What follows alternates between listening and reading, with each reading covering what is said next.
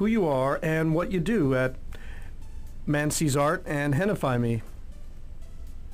Um, I'm the owner and the artist of Manasi's Art Hennafy Me. Um, I offer artistic services of henna application, face painting, and pyrography, which is essentially wood burning, for Peachtree City, Georgia, and the greater Atlanta area. Excellent. So you're an artist yourself, and Mm-hmm. you design the work that you put on people's bodies? That's right.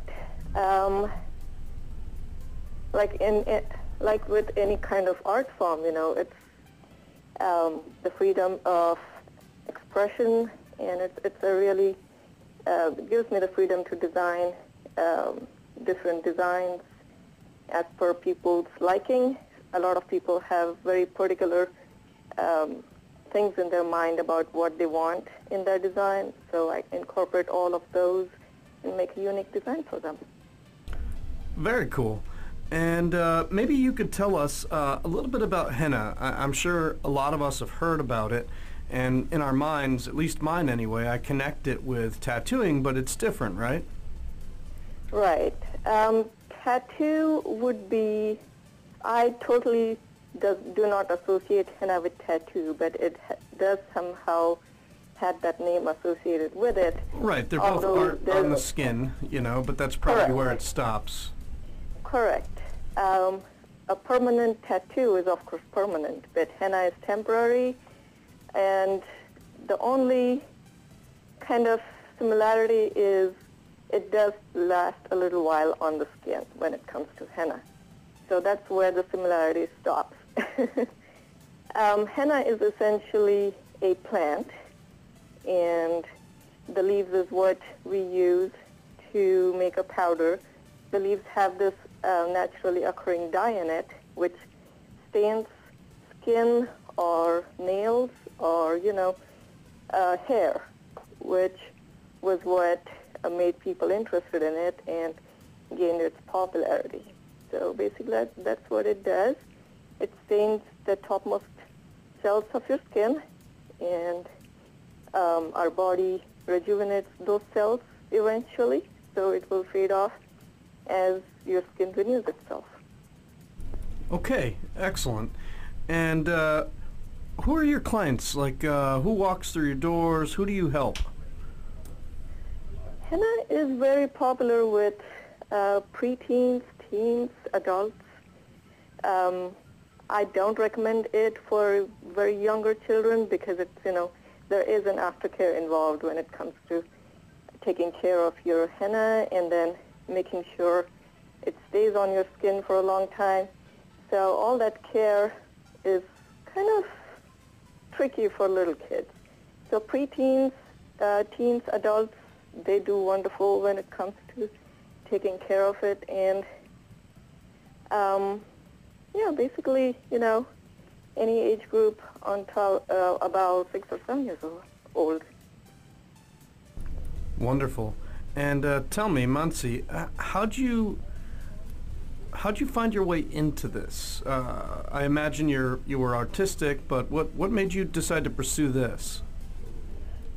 Um, well, I do have a degree in bachelor, uh, bachelor's degree in architecture, but um, my career wasn't doing so great, and I was trying to find some kind of an outlet for my artistic uh, abilities. So, um, I accidentally got into henna, and you know, I, I was like, this is it. So, kind of happened by accident, but I'm I'm very glad that it did happen.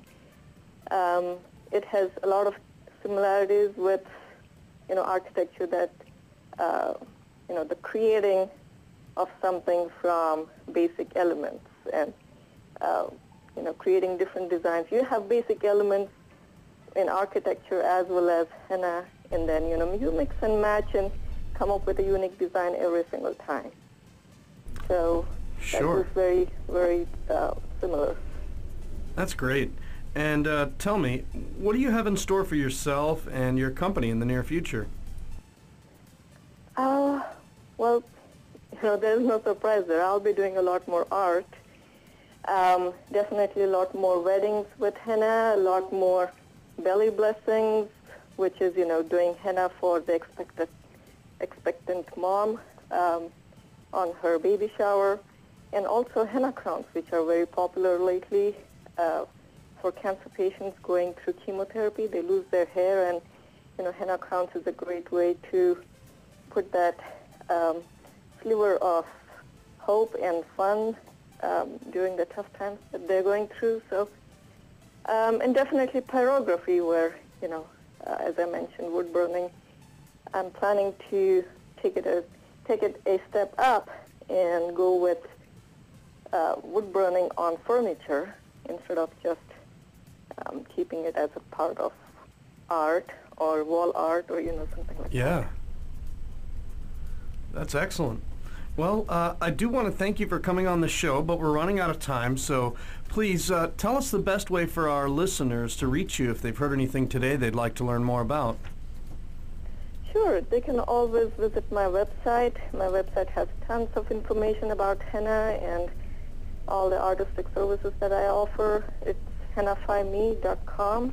I'm also on Facebook and Instagram. So Facebook is Manasi's Art Me, and Instagram is Manasi's Art.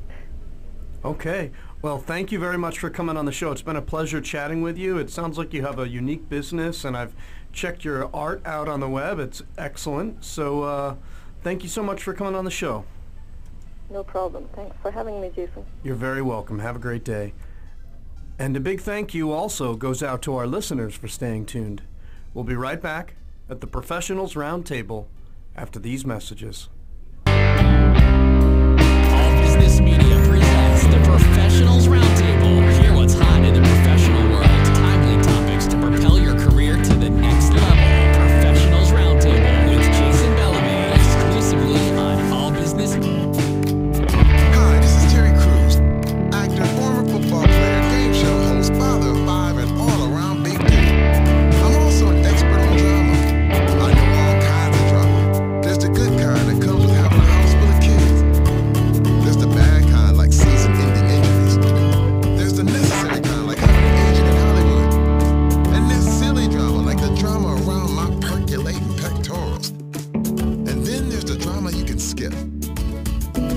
Drama that comes with not having your high school diploma or equivalency. Find free adult education classes near you and finish your high school diploma. Visit finishyourdiploma.org. or text diploma to 97779. Message